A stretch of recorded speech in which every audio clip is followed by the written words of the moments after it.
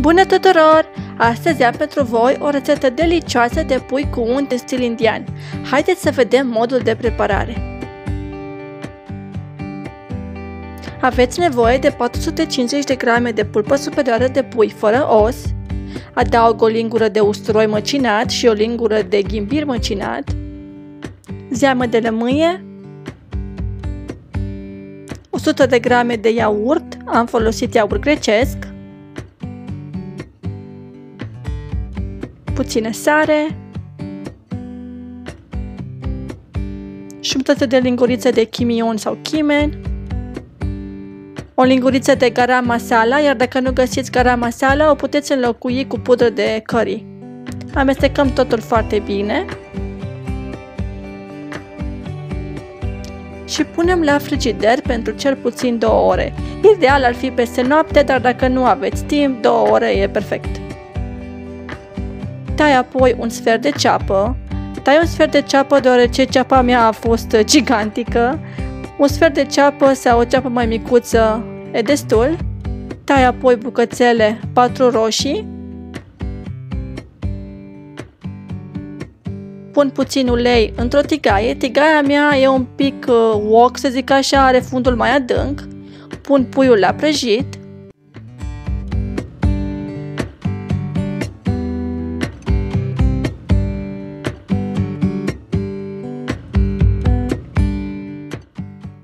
Am grijă să întorc puiul din când în când.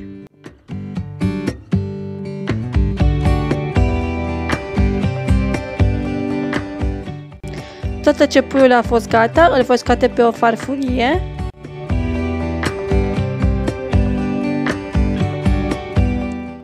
Și în aceeași tigaie în care a fost puiul vom prepara acum sosul.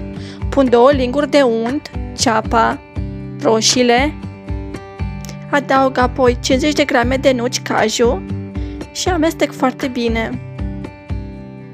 Mai adaug apoi o lingură de usturoi pisat, o linguriță de garam masala, un sfert de linguriță de chimion și amestecăm totul foarte, foarte bine. Pun apoi două linguri de zahăr sau 30 de grame de zahăr.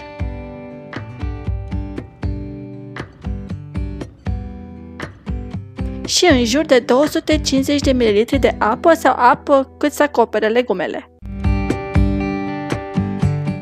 Le-am pus într-un blender sau un robot de bucătărie și le vom face piure.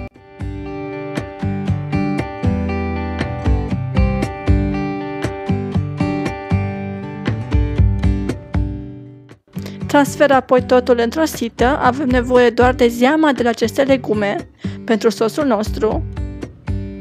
Voi încerca să scot cât de multă zeamă pot din roșii, ceapă și nucile caju. Transfer zeama înapoi în tigaie. Voi adăuga 80 de ml de smântână pentru frișcă, 3 linguri de unt, și puiul nostru.